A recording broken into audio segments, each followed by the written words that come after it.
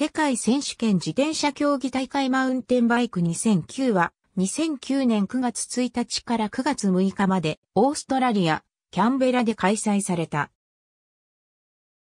男子エリートクロスカントリー女子、エリートクロスカントリー男子、U23 クロスカントリー女子、U23 クロスカントリー男子、ジュニアクロスカントリー女子、ジュニアクロスカントリー男子、エリートダウンヒル女子、エリートダウンヒル男子、ジュニアダウンヒル女子、ジュニアダウンヒル男子、フォークロス女子、フォークロス男子26インチトライアル男子20インチトライアル女子、トライアル男子ジュニア26インチトライアル男子ジュニア20インチトライアル男子クロスカントリー結果サイクリングニュース女子、クロスカントリー結果サイクリングニュース男子ダウンヒル、結果サイクリングニュース男子フォークロス結果、サイクリングニュース女子フォークロス結果サイクリングニュース。チームリレー結果サイクリングニュース。ありがとうございます。